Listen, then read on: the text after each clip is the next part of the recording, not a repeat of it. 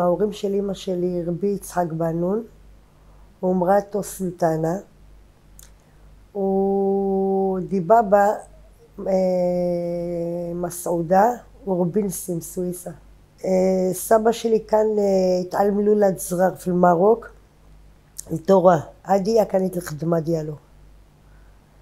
ודישה לארץ ישראל, מה אמר פי עמלו לו? רר יקרא תורה, הוא התעלמלו לד. ומשייך דמף נשר. אה, הוא כאן אה, תמים, תמים, תמים.